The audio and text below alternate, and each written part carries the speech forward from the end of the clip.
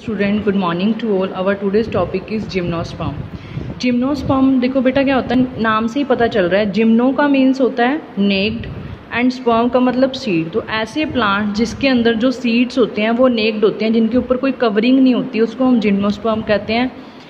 In which the ovules are not enclose by any ovary wall and remain expose इसके अंदर जो ovules होते हैं, वो किसी ओवरी वोल के साथ टच नहीं करते और एक्सपोज नहीं होते।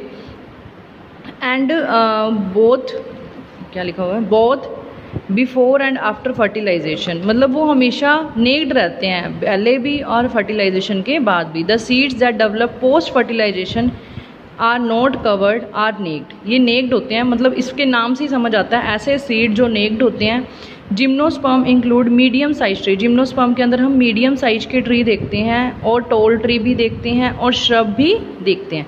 मतलब हर साइज़ के ट्री जिम्नोस्पर्म के अंदर आते हैं। One of the gymnosperm the giant redwood tree sequoia is one of the tallest tree species इसकी जो सबसे लंबी स्पीसीज है मतलब जो सबसे लंबा ट्री है सिकोआ वो जिम्नोस्पर्म का होता है। The root are generally tap root इसमें टैप रूट मिलती है। रूट इन सम जन जेनरा है फंगल एसोसिएशन देखो इसमें क्या होता है? कि जो पाइनस होता है, ये भी जिम्नोस्पर्म का एग्ज़ाम्पल और साइकस भी जिम्नोस्पर्म में ही आता है, ठीक है? जो पाइनस होता है ना बेटा, उसकी रूट्स के अंदर फंगस रहता है और फंगस को माइकोटा फैमिली से बिलोंग करता है फंगस तो इसको हम कहते हैं माइकोराइजल रूट पाइनस की रूट में फंगस रहता है, ठीक है? इसको हम कहते हैं, इसकी रूट्स जो होती हैं माइकोराइजल रूट होती हैं और साइकस की रूट्स में साइनोबैक्टीरिया रहता है, ठीक है? इसलिए हम उसकी रूट्स को कहते हैं कोरेलॉइड रूट्स समझ आ गया? पाइनस की रूट को माइकोराइजल रूट्स कहेंगे साइकस की रूट को कोरेलॉइड रूट्स कहते हैं, ठीक है? उसके बाद है दी स्टेम आर अनब्रांच जो इनकी स्टेम होती है, वो अनब्रांच भी हो सकती है। ब्रांच जो होती है, वो पाइनस में होती है और अनब्रांच जो होती है साइकस में। दोनों ट्री इंपॉर्टेंट है। अगर आपने जिम्नोस्पम करना है, आपको साइकस और पाइनस की सारे करेक्टर्स पता होने चाहिए, ठीक है? उसके बाद है द लीफ में भी सिंपल और कंपाउंड लीफ सिंपल भी हो सकते हैं कंपाउंड भी हो सकते हैं. In cycas the pinnate leaf persist देखो साइकस प्लांट होता है ना, ये पिनट लीफ है. पिनट लीफ मतलब उसमें एक टर्मिनल लीफलेट होता है और साइड पे लीव्स होती हैं. तो इसको हम पिनट लीफ कहते हैं. तो ये साइकस में प्रेजेंट होती हैं.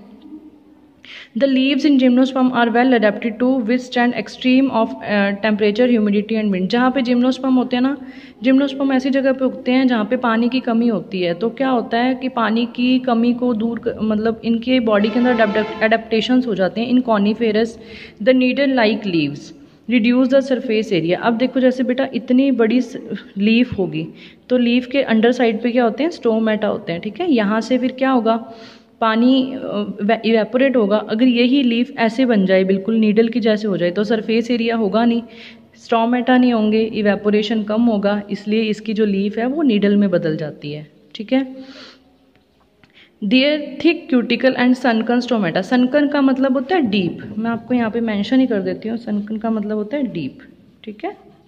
मतलब इसमें जो स्टोमेटा होते हैं, वो डीपली प्रेजेंट होते हैं to reduce the loss of water इसमें वाटर लॉस के कारण कि वाटर का लॉस कम हो। देखो जो जिम्नोस्पर्म होते हैं, ये हेट्रोस्पोरस होते हैं। मतलब इसमें दो तरह के स्पोर्ट्स होंगे, एक तो हैप्लॉइड माइक्रोस्पोर्ट्स एंड मेगास्पोर्ट्स ठीक है? दो तरह के स्पोर्ट्स प्रोड्यूस करेगा। हमने उसमें पढ़ा था ना टेरिडोफाइट्स में कि वो होमोस्पोरस होता है, लेकिन उसमें इस लैजिनेला और इक्विसिटम में ही हिट्रोस्पोरस होते हैं। इसमें क्या होते हैं? ये हैप्लॉइड मतलब इसमें माइक्रोस्पोर होगा मेगास्पोर होगा। The two kind of spores are produce within sporangia sporangia क्या होता है बेटा? एक ना ऐसे कोन शेप होती है कोन सा बन जाता है, जिसके अंदर स्पोर सारे इकट्ठे हो जाते हैं। मतलब सारी लीव्स इकट्ठी हो जाएँगी स्पोरेंजिया जो स्पोरेंजिया होगा वो इकट्ठा हो जाएगा। स्पोरेंजिया मतलब जिसमें स्पोर्स होते हैं, वो सारे इकट्ठे होकर कोन बना लेंगे। इस कोन को हम क्या कहते हैं? स्ट्रॉबिली ठीक है? और ये जो इसके अंदर स्पोर्ट्स होते हैं ना, वो रिड्यूस हो जाते हैं और पोलन ग्रेन्स बना लेते हैं। मतलब इसी स्पोर्ट्स ने क्या बना दिया? पोलन ग्रेन्स बना दिए, ठीक है? ये देखो the two kind of spores are produce within sporangia that are borne और sporophylls which are arrange spirally along axis to form lax and compact strobili देखो, इस तरह से एक मतलब एक सीधा सीधा से इसमें एक एक्सिस बन जाता है। और इसके साइड पे ये सारी स्पोरेंजिया आ जाते हैं। तो ये कौन शेप की स्ट्रक्चर बन जाती है। जो strobili bearing microsporophylls and microsporangia जो स्ट्रॉबेली होती है, उसके ऊपर माइक्रोस्पोरोफिलस भी होती हैं और माइक्रोस्पोरेंजिया मतलब इसको हम माइक्रोस्पोर्स भी कहेंगे और माइक्रोस्पोरेंजिया भी कहते हैं, ठीक है? आर कोल्ड मेल स्ट्रॉबेली इसको हम क्या कहेंगे? मेल स्ट्रॉबेली अब ये मेल है। इसको हम फीमेल नहीं कहेंगे, क्योंकि इसमें सारे करेक्टर मेल के हैं। ठीक है? The microspore develop into a male gametophyte generation which is highly reduce to confined only a limited number of cells this reduce to form pollen grain यही मैंने लिखा है ना, जो ये स्पोर्स होते हैं, इनसे ये ये रिड्यूस होते जाते हैं और इनसे पोलन ग्रेन बन जाते हैं। The development of pollen grain take place within the microsporangia pollen grain की डेवलपमेंट का ये माइक्रोस्पोरेंजिया में the cone bearing micros megasporophylls with ovules are megasporangia. ऐसे कौन जिसके अंदर मेगास्पोरोफिलस होते हैं, ओव्यूल्स होते हैं, उसको कहेंगे हम मेगास्पोरेंजिया।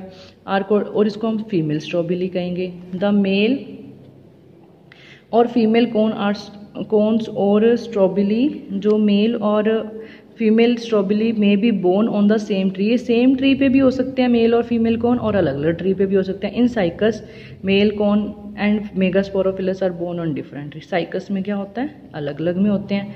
पाइनस में एक ही ट्री के ऊपर मेगा और माइक्रो दोनों स्पोर्ट्स रहेंगे। ठीक है? आज हम यहाँ तक पढ़ेंगे। कल हम इसको और डिटेल में स्टडी करेंगे gymnosperms okay student bye bye